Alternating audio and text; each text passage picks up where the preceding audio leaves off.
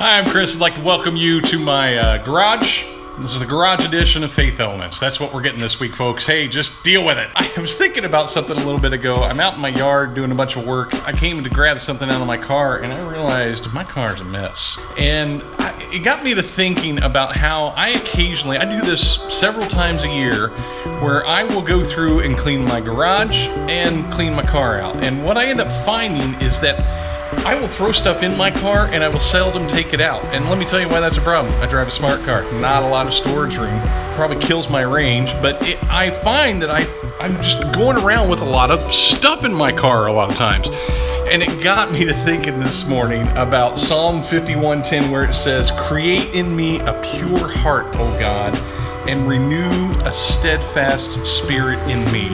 One of my favorite lines from Doctor Who is when uh, Doctor Who says to somebody, You know, I try to never understand anything. It's called an open mind. and I think one of the issues that we face a lot in our culture today is people who don't have an open mind, an open heart, and a clean mind and a clean spirit. And how every once in a while we have to rethink the way we look at things and be open minded that maybe the way we see something might not line up with what's going on today. Now, biblical truths, as we all know, if, if you're a Christian and willing to accept that, biblical truths don't change with time. But our thinking, how we apply things, how we look at things, those are the things that I think every once in a while, that's a good looking Mustang right there.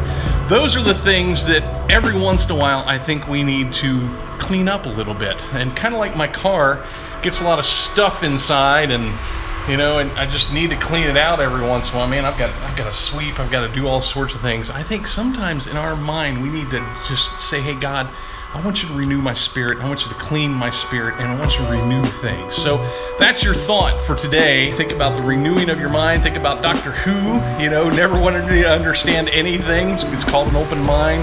It's just a, a few things to put to prayer and, and to consider today. Thanks for watching.